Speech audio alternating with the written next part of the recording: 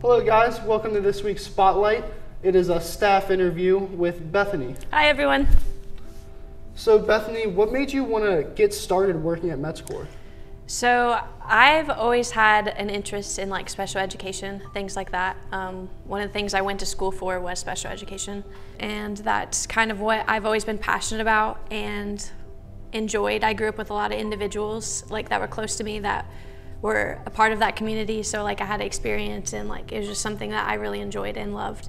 I've been following Metzcor for like a few years now, just kind of seeing what they're doing. Um, I was interested obviously because like I like that kind of stuff. So I saw Metzcor and I was like, this, you know, they're doing good things. And so I just kind of kept up with them on social media, not really like intending to get a job here or anything. So, what made, gave you that push to finally apply?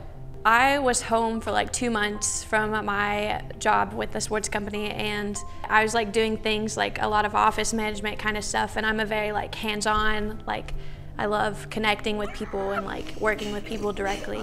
So I kind of was just getting I guess bored of that job in a sense and I had been there for a year and I knew that's not what I wanted to like do for the rest of my life. I knew I wanted something different and something related to things I was passionate about, I guess. Did you say you're in school or you already finished school? So I already finished school. I went to Thomas More. Um, I studied education, focused on special ed kind of stuff, and then I also did psychology stuff as well. So what is your role here at Metzcor and what kind of things are you doing to incorporate uh, that the education you got at school? I'm currently a DSP, so a direct service professional. Um, I'm like a group leader, I guess is what we would call it, for a group of participants. In Space 4, I try to kind of see what people are good at, what they enjoy, that kind of stuff, and I'll kind of like build like lessons and things like that.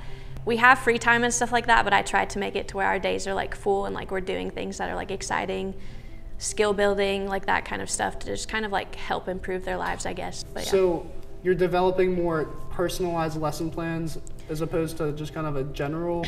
Um, yeah, so the individuals are very different. Like everyone has different skills, abilities, likes, dislikes, and so it's very um, like differentiated learning. So like you kind of have to think of like, okay, well, who do I have in my group and who can do what and that kind of thing and pull out you know, the different skills and things that they have.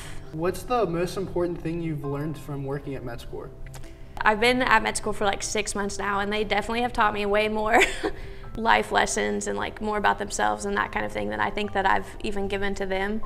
But they're definitely like very like joyful and they like don't complain like no matter what. So that's probably like the biggest thing I've taken into my own life is like one like my problems are small compared to some people that I've met and then also like I can find joy like no matter like what I'm dealing with because they can so like I also can. Do you have a favorite part of the day at Metzcor? Like a certain thing you look forward to every day? I don't know if I have like a specific favorite. I feel like there's like a lot of things that obviously it's like fantastic, but it's a huge distinction from my old job because my old job I wasn't like motivated or like excited to go to work, you know what I mean? Because it was like I was just doing things that kind of seem monotonous in a way. But for Metzcor, like I wake up every day and I'm so excited to like go see everyone and like everyone comes in so like cheerful and happy and just like I don't know. It's just I guess my favorite part would be the people and like the joy that comes along with the people.